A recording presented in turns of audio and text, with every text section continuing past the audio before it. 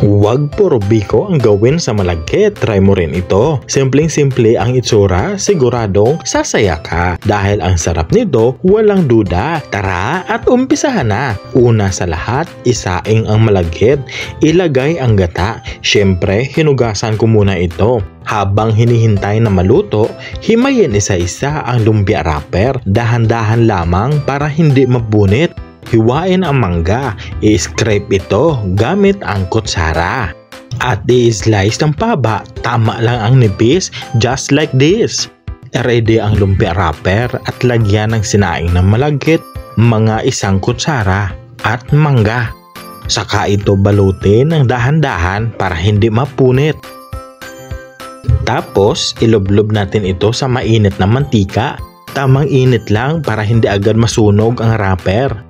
Balik ta rin pag golden brown na ito at hintayin lamang ng tatlong minuto at hanguin. Wow! Try mo to! Bongga ang lasa! Um, yummy!